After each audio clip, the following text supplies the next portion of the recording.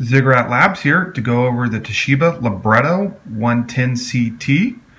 Uh, this will be a full review and my opinion on why I believe this is one of the best mobile retro gaming devices you can get for DOS gaming from the late 1980s to maybe 96, 97, along with some uh, light Windows gaming. Um, I'm going to go over the specs, um, kind of a brief history of this libretto and the other librettos that come along that, that have also been around. Um, I'm going to kind of go, go through a walkthrough of the different features uh, for this particular libretto. Um, and then I'll show you an in-depth tour of the Windows that I've loaded onto it, which is just basically Windows 98, but with the games and my ultimate goal for this particular machine. The first generation librettos, which was a libretto 20 and a libretto 30, were both an AMD 486 DX4 processor, either running at 75 megahertz or 100 megahertz. They both came standard with an 8 megabyte onboard RAM, uh, and you can expand it to about 20 megs max. And they, I think, both either had a 200 or 500 gig or megabyte, excuse me, hard drive. Um, with a 6.1 TFT display running at 640 by 480. The second generation librettos, which were the Libretto 50, Libretto 60, Libretto 70, and I also considered the Libretto 100 and 110 as a second generation, but more as a refresh. Uh, the 50, 60, 70, 100, and 110 all had Intel Pentium processors. From the 70 onward, had the MMX instruction in, uh, chipset included. Um, they all have EDO uh, RAM depending on the models you get. However, the 50, 60, and 70 all had the 6.1 inch display uh, running at 640 by 480. For the Toshiba Libretto 100 and 110, both featured the Intel Pentium but with the MMX technology.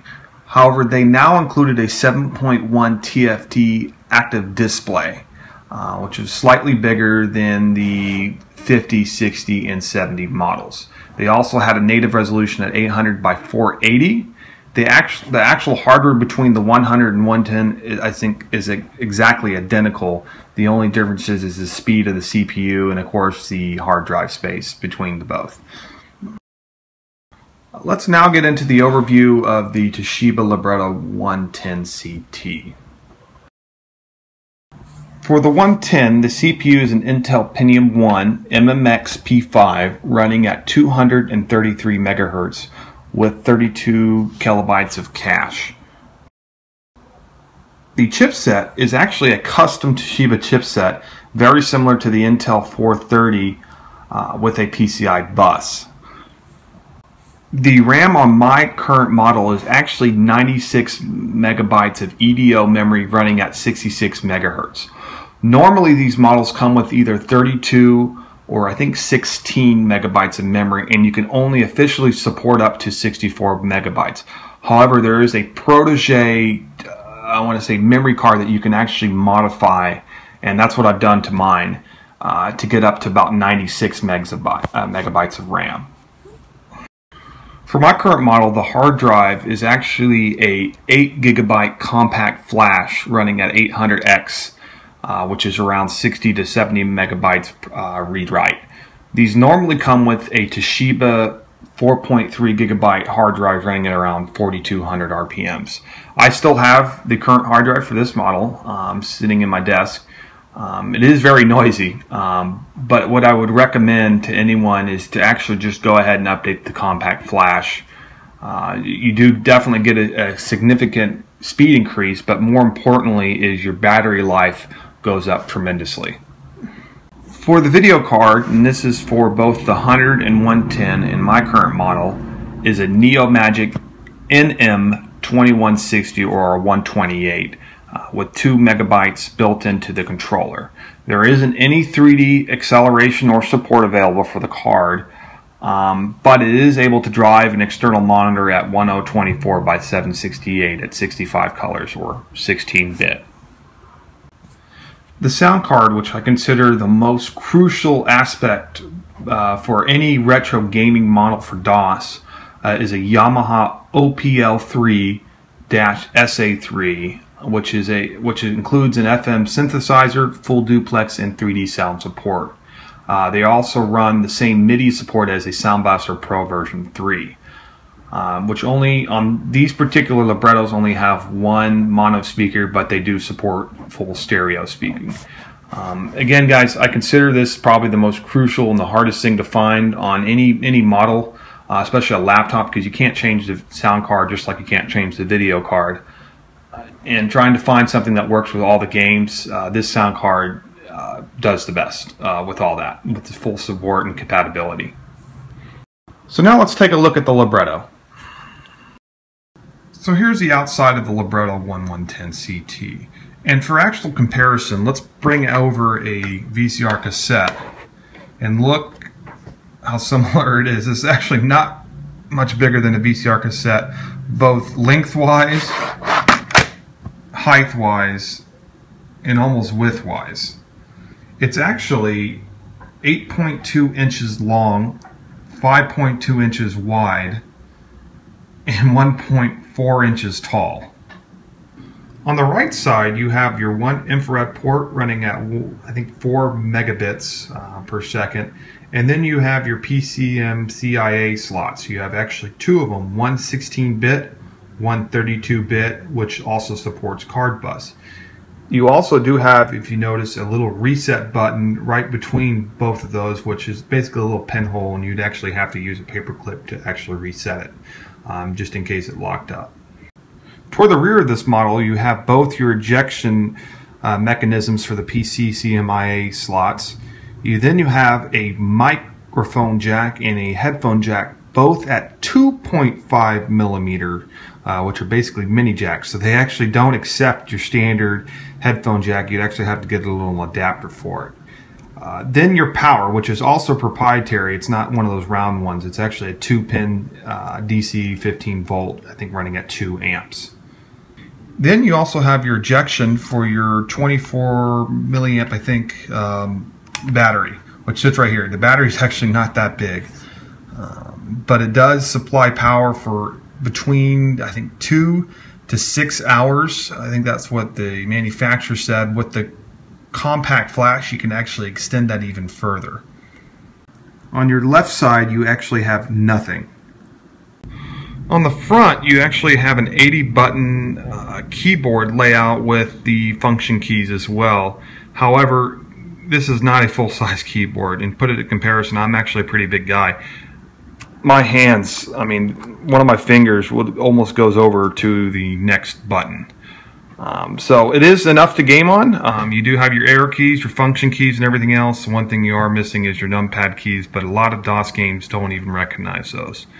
Um, you have your LED lights right here. There's actually four for power, sleep, uh, the hard drive activity light, and your battery status. Here is your Acu, it's called an AccuPoint mouse tracker or whatever it's called. Um, that is actually your mouse and you move it around just kind of like would would be with an old IBM where you had the ball right here, just right here. However, your buttons are right here to and you got your you know left and right click regarding expansions, there's actually two expansions that you can purchase for this model. Uh, this is just the smaller one of the two, uh, which includes a PS2 port, VGA out, your power, which is that two pin prong I mentioned earlier, your serial, and your LP2 two port or printer port. This particular expansion can actually be driven by your battery. You actually don't need to plug this expansion in to actually use it uh, which is nifty because when you want to play with a mouse, you can plug it into your PS2 port and use the keyboard on board. The larger expansion, I think, was intended to be more at someone's desk and for a corporate use, as there's areas where you can drill in and mount this uh, to someone's desk. However, let's go over it. We'll start with the rear here. Toward the rear, you'll notice that you have two PS2 ports, your printer port, your VGA out, and your serial. Um, another nifty thing about this bigger one is you actually have another, so you actually have two PC CMIA slots, one 16-bit again and one 32-bit, and again sports card bus. On mine, if you notice, I have plugged in a Ethernet and a modem, uh, so I can actually take this thing on our network. On also, you have USB, and I can clarify this is 1.1. This is not 1.0. Um, a lot of my 1.1 peripherals work with this. Um, I don't know if the chipset for USB is actually, I think it's built into this dock or this expansion, not, and it's not on the actual physical libretto. On the other side, you have actually another expansion, however, it is only 16 bit. With that said, I've actually put a USB 2 um, PCCMIA uh, adapter so I can have a little bit more flexibility with USB. Your also power is located on this side. So I've mounted the libretto to its bigger expansion port um, or expansion dock. I've hooked up a little PS2 mouse. Um, so let me turn it on and kind of show you what I've done with it. So currently I'm running Windows 98 SE with the Plus Pack, as you guys see. Um, again, the Plus Pack doesn't do too much, but it does add those nostalgic, you know, desktop themes and a few games, um, and just some multimedia stuff. It really doesn't do anything else. So I've also applied the unofficial Windows 98 SE service packs. Uh, at the time of this video, I believe it's 3.3.4, um, which it, it is. It, it helps it a little bit it helps the I want to say the libretto and some of the drivers a little bit more stable. It also gives you the ability to do USB um, flash drives and a few other little things. So I do recommend it. However, I do not recommend installing Internet Explorer 6. Just keep it as is if you're running Windows 98 SE. It comes with 5. You're not really going to use it anyway. Um, if you really want to do any type of web browsing, uh, I do recommend using the, I think it's a Mozilla version 2.0, which is officially supported by Firefox, um, or there's other browsers as well you can use. Uh, so let's go ahead and log in. I am using a Windows 2000 theme, and you'll notice the sound. All my Windows 98 machines have the same look. I usually keep a games folder, a utilities folder, and a shortcut to exit to DOS my objective with this machine was to run all the DOS games and all the Windows games within one UI or one GUI. I did not want to have to keep rebooting or exiting to DOS to run certain games and typing the command line. I was trying to get everything running in Windows. Yeah, for pure sake, I would I would go with yeah, you need to run it in DOS, but for for me to just pick this thing up and go somewhere, you know, if I'm sitting in an airport uh, for traveling or something, I can just turn this thing on and uh, load a game up on the fly. I don't need to type anything and um, try to try to remember the commands. I can just double click the icon and, and there we go. So let me show you. I do have, I think, 120 games loaded, and I will put it at the bottom of this video uh, of all the games that I know are working on this particular machine. If you would like to see a game on, on this machine run, or if you had a question about it, please leave me a comment um, and I'll try to answer them. I'm just going to show you a few of them. I'm not going to waste your time going through every single video, every single game because there's a lot of them, but we'll do some of the big ones and my favorites. So, um, Command Conquer. And I'm going to go through some of the ones that have the MIDI support and the DOS support. This is more of a Windows game, so this is not running in DOS natively.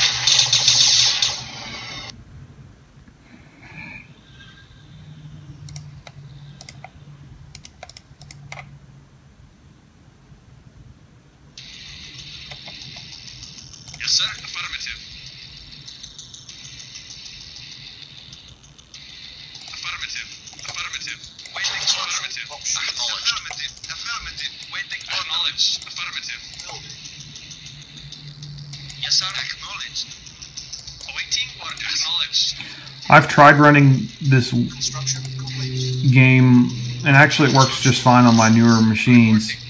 Um, but it runs, the scroll speed is ridiculous on the newer machines. The game speed runs just fine, but your scroll, if you just casually scroll down, it will just jump you all the way to the end of the map.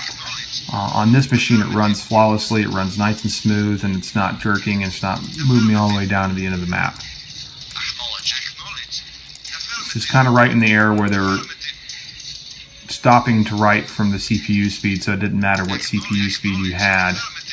Um, it would work for all, but um, this does seem to run better on an older machine than it does on a newer one.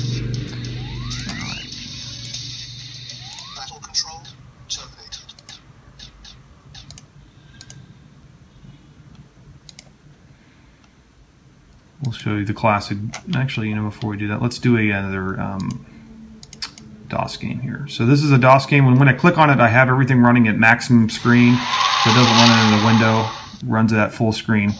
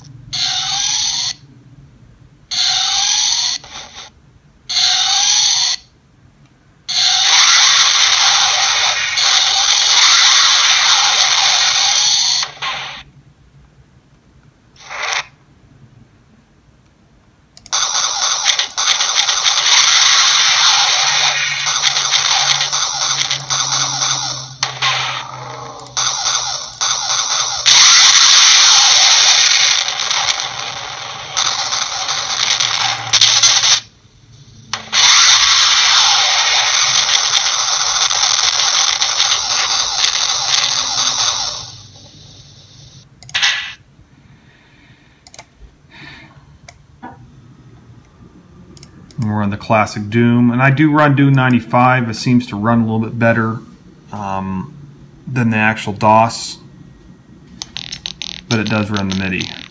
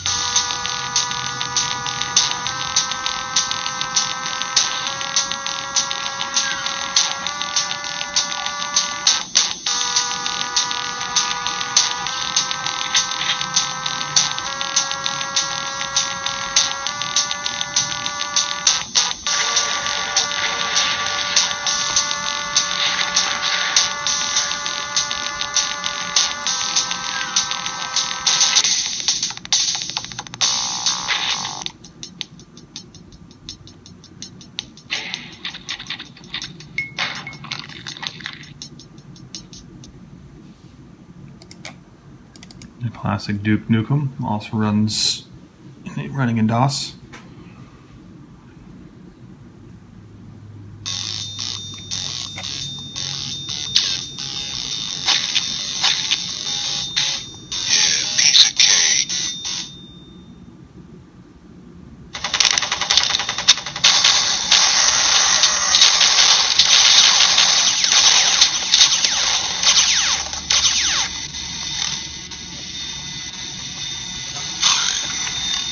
Like Duke Nukem with all its little kind of cool features where you can look at security cameras.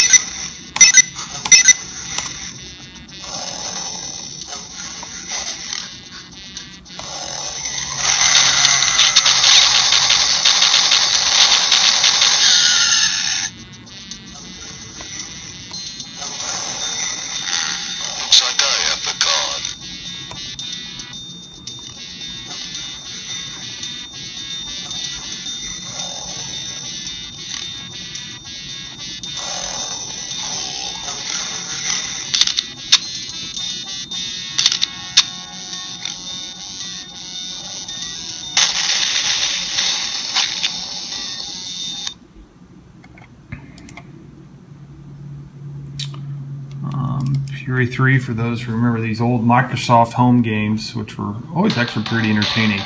Now, with this game, it, it is, I have to say, for the libretto, we're, we're kind of nearing its limits here with the 3D. As you guys know, and I said in earlier the video, it doesn't have any 3D acceleration support, so it's all software based. Um, it, do, it does a pretty good job for, for what it is, and, and, and I don't know if I mentioned this earlier. This is from this era of Toshiba's from 1998. Uh, this is kind of roughly two or three years after this game came out. Um, but it doesn't do a too bad of a job running it. And I will show you the game that's kind of pretty much maxing this machine out for its capabilities.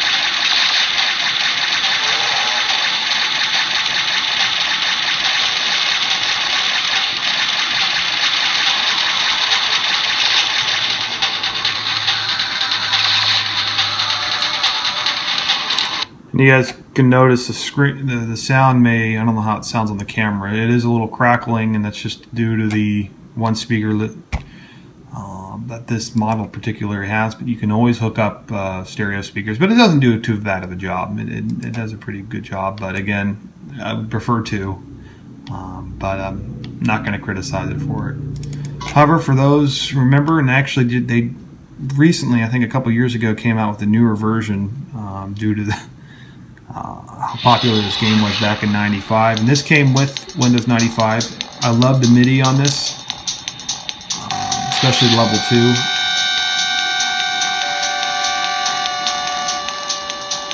and again this sound card is phenomenal with the MIDI support it has and uh, the sound support it has for these games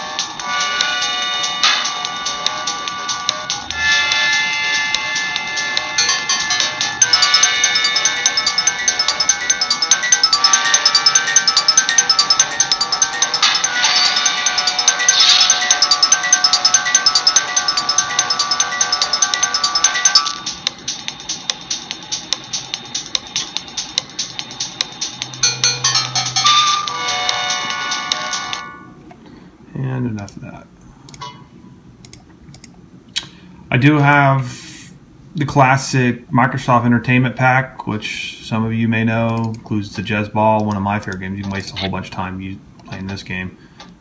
Um, love that's a pretty cool game. The Jigsaw it has the puzzle pack, the entertainment pack on it, and I think I have the pinball pack as well on this. The pinball pack uh, from Microsoft barely runs on this machine. I think that came out in 99. Um, it, it, does run, it just doesn't run that well. Um, Magic Carpet, which I think was Bullfrog. Um, yep, Bullfrog production.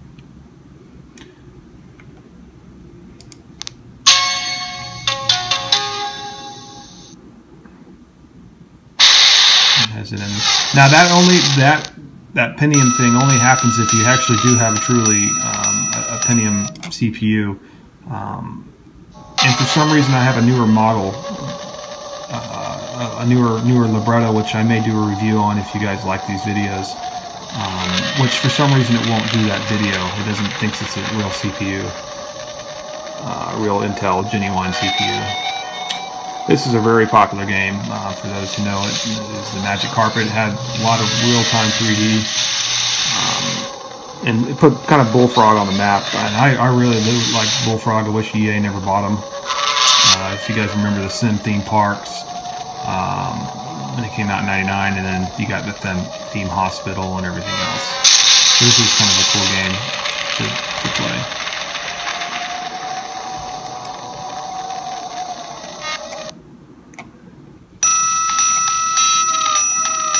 Menu minis. is kind of annoying. My favorite game, I'd say, of all time would be the MechWarrior uh, series, probably the MechWarrior 2 and 3 I enjoyed the most. Um, I haven't tried MechWarrior 3 on this machine yet. I don't know if it will run. It does run MechWarrior 2. However, a criticism to it, um, I have it running without the CD. It, I think this game's only good when you play it with the CD and the music. For those who know, the music comes with MechWarrior 2. And I do, again, guys, I do have another. I can do another review on the uh, another libretto that I do have, which I believe is probably the best machine to use for these kind of games. Um, but I think for nostalgic purposes, this is does the best for its era.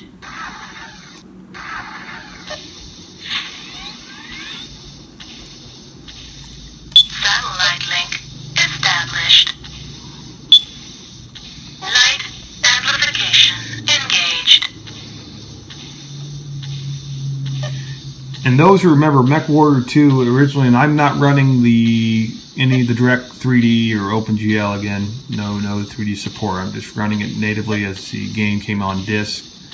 Um, there are several variations and flavors to this game. Um, those who know it and who are running the Voodoo cards, you got the 3DFX version, which looks almost completely different. Um, same gameplay, but the graphics are completely different, and I think the computer talks a little bit differently too. Um, for me, I like the old version. This is what I remember growing up on and playing. Um,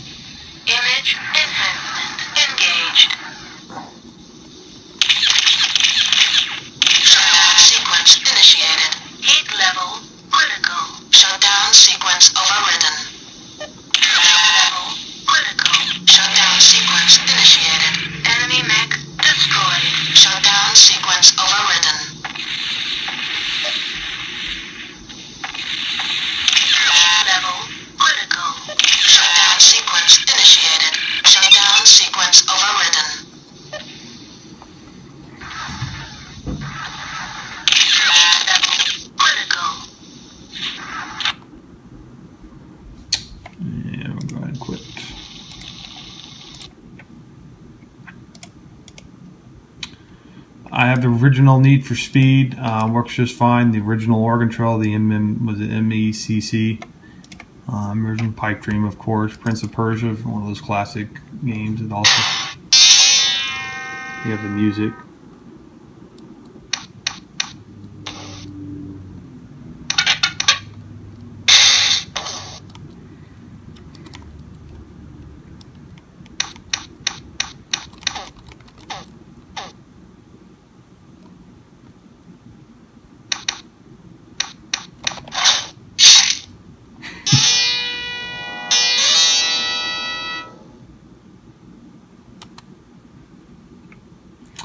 Games are a lot of fun.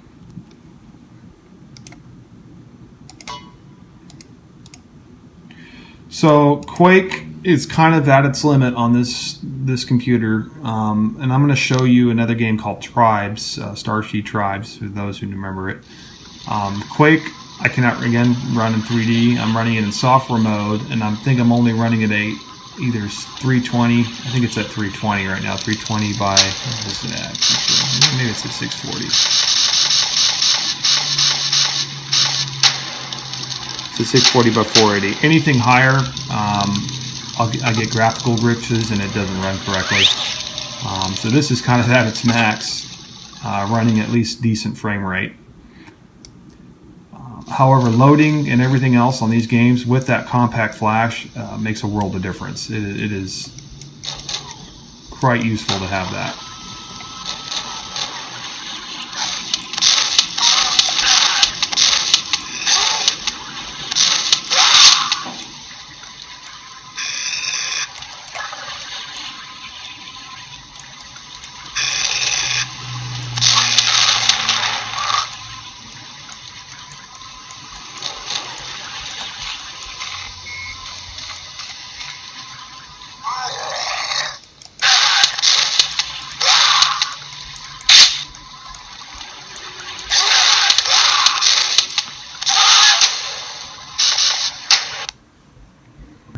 Classic Sim City.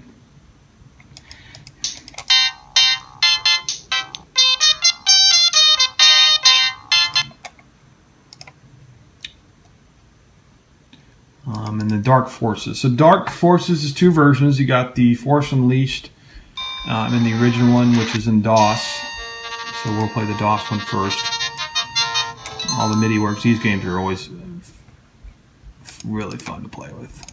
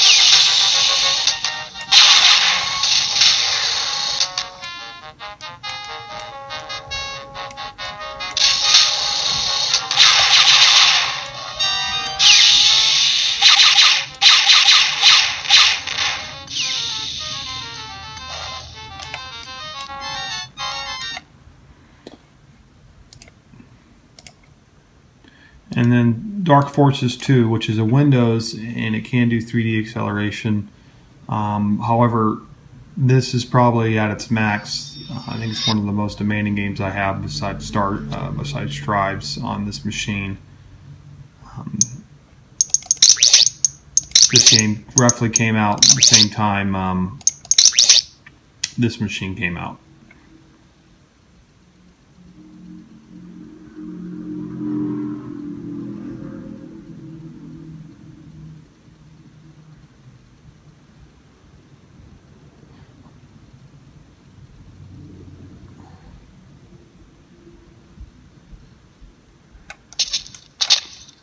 You can see there is a little lag there.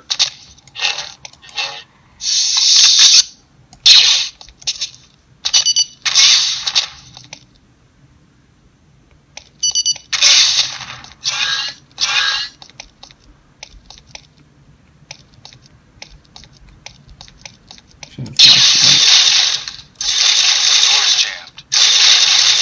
Doors jammed.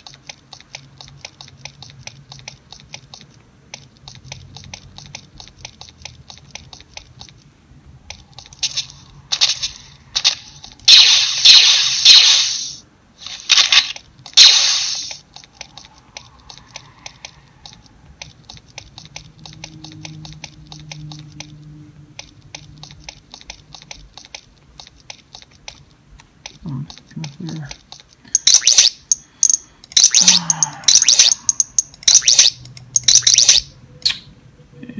And I'll finally show you guys, um, if you guys remember the SCUMM uh, engines from LucasArts. So I run ScummVM to run these games as I don't have a CD-ROM drive plugged into this up and it looks like I can't run it right now. I'll have to figure out what's wrong with it. I wonder why it's having trouble. Alright, well, I'll have to figure that one out, why it's not working. So I run ScummVM. I actually own almost all these games on CD or some type of disc. Um, and I've taken my CD, dumped it as an ISO, um, and plugged it in here so it can play via the Scumm. And now it takes up a lot of space. It's kind of a waste of space on this. However, um, it's one of my games I remember playing as a childhood too. All right, so I'm going to show you Tribes and just kind of at its limitation here, and this is at the lowest settings uh, that Tribes can run at.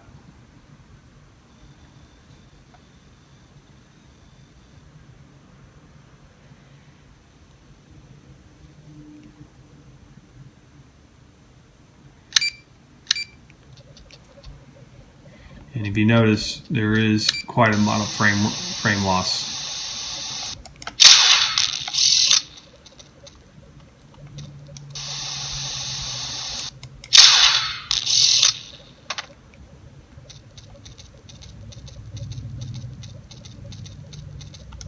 It is still playable though. This is definitely um, at its max now. And I think actually, and I have a um, another another machine similar to this from a, it's a Sony era, kind of the same same time this came out. Um, that run, runs at 266 megahertz, and it runs this game. Has a very similar uh, GPU um, graphics processor, so slightly has I think 0.5 more megs to the same same NeoMagic though and it runs at 266 megahertz for the CPU, and it runs this game actually pretty well. Um, so I'm, and it actually can run Half Life just fine. I've seen people run Half Life on lower specs. I, I, don't know why these this this particular machine maybe doesn't. You know, it's had, it has a hard time running Half Life, um, so I didn't even bother installing it. Um, but it, it it seems that it can work. I just may need to tweak with it and figure out why it's um having so much trouble with it.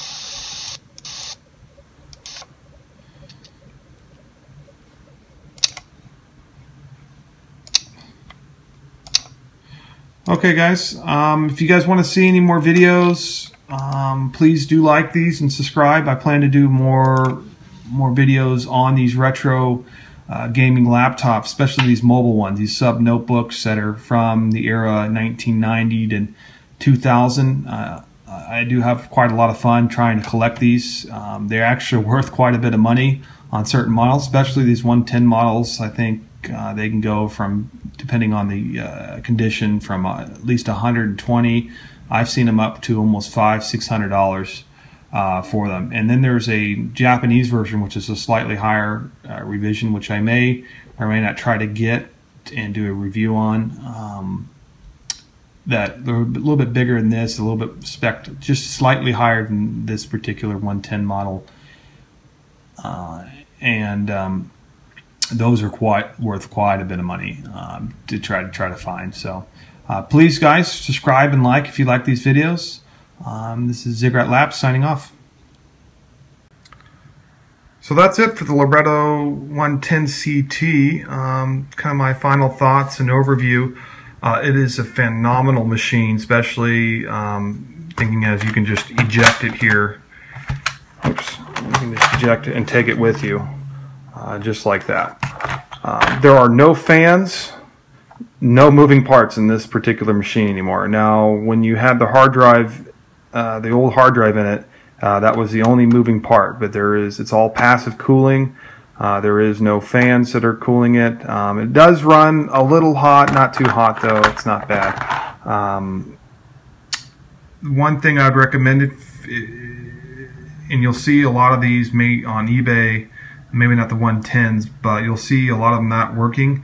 One quick, easy fix I noticed this is if you don't have a hard drive in this at all, no hard drive, it won't boot at all. Won't even turn on. Um, so that's what was the case with this. I got it for 30 bucks um, on eBay. Um, it was in great condition, hardly used, as you guys see. It's, I mean, it's barely been any, barely been used, um, but it didn't work. And reading on the forums and reading about it, I figured, well, it may be just the hard drive because the hard drive's missing out of it. And sure enough, it was. Um, it did have a bad CMOS battery on it, um, so I was going to replace that and also adding the uh, Portege memory card to it, um, which bumps you up to 96. There are some guides online on how to get the Portege memory working on this particular model. There is some soldering involved. Um, you would also need to, I think, take out, I remember doing this with the CMOS battery where it connects into, you also have to kind of extend those wires out um, in order to fit the memory card. Um, but the memory is always, uh, always a big plus. Um, if you guys like these videos, I plan to do more. Um, I think the next video um, I'm going to do is a teardown guide of the Libretto 110 just to kind of show you what's inside and what makes it work.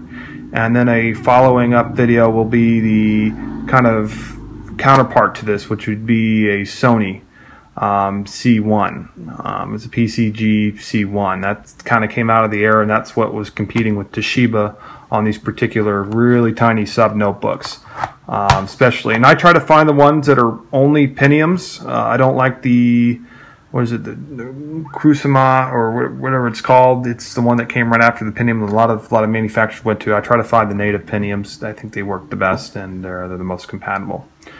If you like these videos, please like it and subscribe. Um, Zigrat Industries and Zigrat Labs signing off.